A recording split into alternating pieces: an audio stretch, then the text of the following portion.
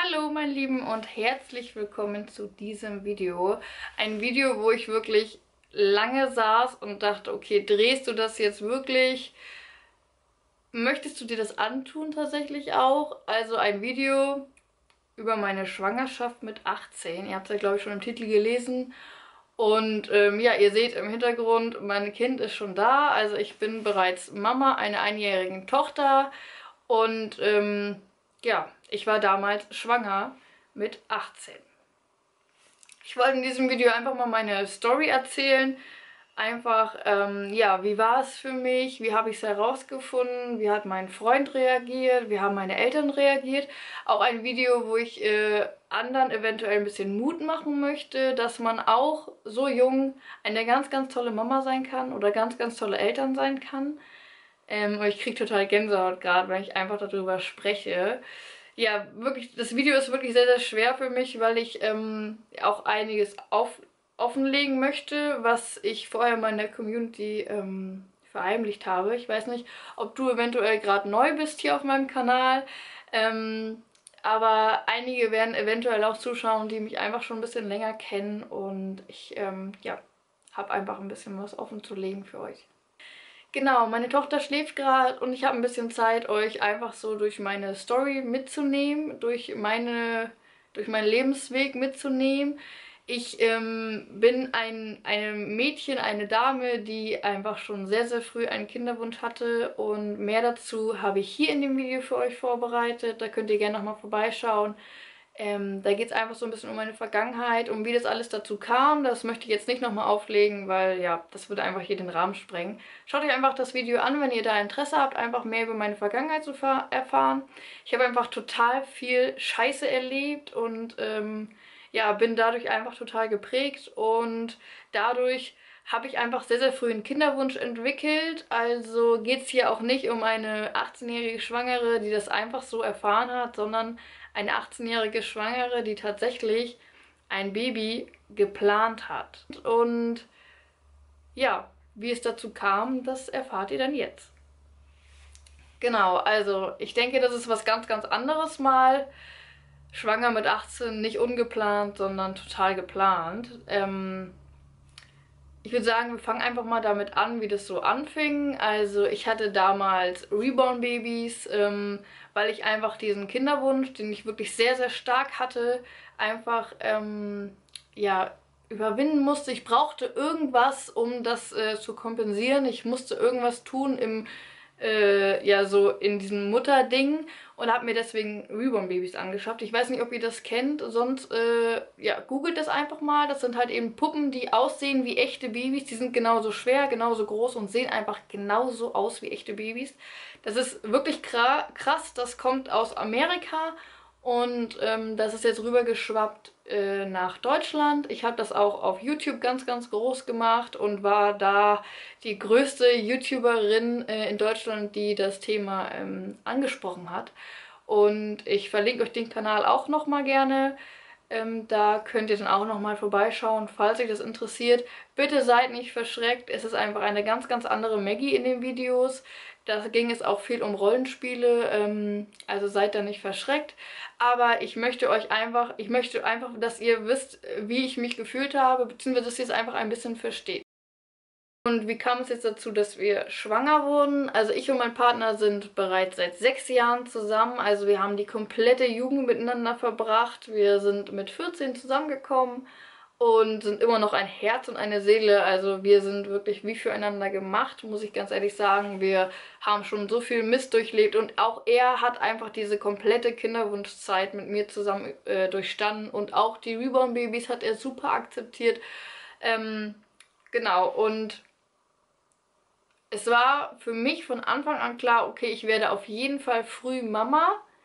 Ähm, nur wann war eben die Frage. Ich habe dann meinen äh, Hauptschulabschluss gemacht, beziehungsweise habe ich den gar nicht gemacht. Ähm, ich habe halt die 9. Klasse gemacht und habe dann direkt die 10. gemacht und meinen Realschulabschluss gemacht. Und dann habe ich mein äh, Abitur begonnen.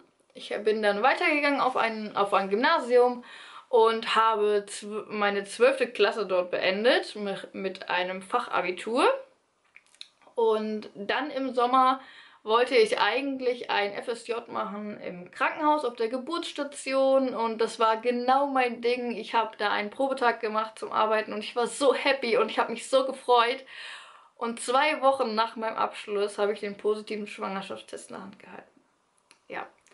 Ich habe im Mai 2018 meine Pille abgesetzt. Einfach eigentlich, ja gut, also es hat schon damit zusammengehängt, dass ich eben wusste, okay, du beendest diesen Sommer deine ähm, Schule und ich habe mit meinem Partner gesprochen und wir beide waren eben so, okay, Ende des Jahres legen wir es drauf an. Ende des Jahres ähm, legen wir es drauf an, ob wir schwanger werden oder nicht. Also wir verhüten nicht mehr. Und ähm, wenn es dann sein soll, dann soll es so sein und wenn nicht, dann eben nicht. So, das haben wir so geplant, weil er dann mit seiner Ausbildung fertig wäre, wenn das Kind gekommen wäre und er hätte dann ähm, seinen richtigen Job, eine leitende Position gehabt und ähm, ich hätte mein FSJ fertig gehabt. So, deswegen haben wir gesagt, Ende des Jahres passt gut, weil für mich war auch jeder Tag wirklich eine Qual. Also muss ich jetzt ehrlich sagen, für mich war jeder Tag wirklich total schlimm und ich habe jedes Mal Eltern gesehen im Kinderwagen und war jedes Mal total erschüttert und ähm, genau, deswegen haben wir eben dann den Zeitpunkt Ende des Jahres festgemacht und haben gesagt, komm, wenn es klappt, dann klappt es und wenn nicht, dann eben nicht. Dann warten wir eben noch. Ja, dann habe ich, wie gesagt, Mai 2018 meine Pille abgesetzt. Natürlich aus dem Grund, ähm, weil ich äh, meinte, ja, es kann ja sein, also der Körper braucht nun mal nach der Pille, ich habe die Pille vier Jahre genommen, braucht der Körper nun mal auch seine Zeit, um wieder zurückzufinden. Und ich hatte sowieso immer einen total unregelmäßigen Zyklus. Und es war auch vor der Pille immer eine totale Katastrophe.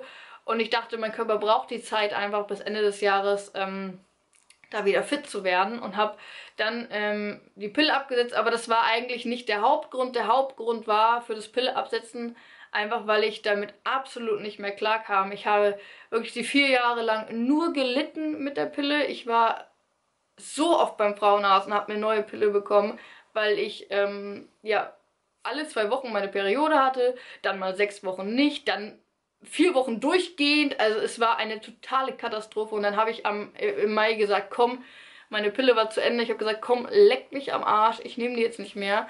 Ähm, und habe dann meine Pille nicht mehr genommen. Und wir haben es nicht drauf angelegt. Also wir haben ähm, halt nicht mehr verhütet, klar. Aber wir haben es halt auch nicht so drauf angelegt, dass wir sagen, komm, ich habe jetzt mal einen Eisprung, wir haben jetzt Sex sondern ähm, wir haben halt einfach nicht. Genau. Und ähm, da ist eben schon der erste Punkt, wo ich sage, dass ich meine Community da äh, belogen habe, tatsächlich, weil ich einfach Angst hatte. Ich hatte unglaublich Angst vor der Reaktion ähm, und auch diesen Hate, den ich äh, bekommen hätte. Und deswegen habe ich gesagt, dass es passiert ist und dass es nicht geplant war. Und ganz ehrlich, Leute, ich bereue gar nichts davon. Ich bereue es absolut nicht ähm, diese Entscheidung jemals in meinem Leben getroffen zu haben. Und ich möchte auch allen da draußen Mut machen und sagen, komm, selbst wenn ihr mit 17 oder 18 Schwangerschaftstest in der Hand haltet, ihr könnt das genauso rocken wie andere. Egal ob du 30 bist, 40 oder 20 oder 17. Du kannst eine wundervolle Mama sein und du kannst eine, eine, eine ganz, ganz tolle Familie sein. Ihr könnt eine ganz, ganz tolle Familie sein. Es ist einfach so. Es ist einfach so, wirklich ich bin wirklich eine geborene Mama. Also muss ich ganz ehrlich sagen, da sagen auch ganz viele zu mir, Maggie, du bist die geborene Mama, du gibst deinem Kind so viel Liebe. Und ja, ich gebe meinem Kind unglaublich viel Liebe, einfach weil ich diese Vergangenheit hatte und einfach weil ich was anders machen möchte. Und alle, alle Mädels auf dieser Welt können so eine wundervolle Mama sein. Wirklich. Egal wie alt ihr seid. Ihr könnt eine wundervolle Mama sein. Und ähm, genau, das war eigentlich meine Geschichte. Das war die Story zu meiner Schwangerschaft mit 18. Wie ich jetzt eine wundervolle Tochter habe. Ja, und wie gesagt, ich würde nichts anders machen. Mein Freund würde nichts anders machen. Wir hätten es genauso gemacht. Wie gesagt, wir hätten es ja sowieso geplant gehabt. Und es war dann einfach eine ganz, ganz spontane Entscheidung. Und ja, so sind wir schwanger geworden. Geplant drauf angelegt und super glücklich, wirklich. Super, super glücklich. Ich hoffe jetzt, euch hat das Video einfach total gut gefallen. Ich ähm, weiß, dass jetzt einige Kommentare kommen werden, wo ihr sagt, hm, äh, Maggie, das war jetzt nicht so cool. Aber ganz ehrlich, äh, ich stehe da einfach zu, Leute. Ich stehe da einfach zu und was soll ich euch da groß rumreden? Es ist einfach so passiert und wie es passiert ist, ist es richtig und ich bereue, wie gesagt, nichts und deswegen kann ich euch da auch teilhaben lassen. Und ich wünsche euch jetzt einfach einen ganz, ganz wundervollen Tag. Wenn da Mädels bei sind bei euch, die hier zuschauen, die einfach in einer Situation sind, wo sie Hilfe brauchen, schreibt mich super gern an auf Instagram. Ich bekomme täglich Nachrichten von schwangeren Teenies, äh, die einfach meine Hilfe brauchen. Und ähm, ja, schreibt mir einfach gerne. Mein Instagram-Account schreibe ich euch hier nochmal hin. Und dann wünsche ich euch einfach einen ganz, ganz tollen Tag und bis zum nächsten Mal. Tschüssi!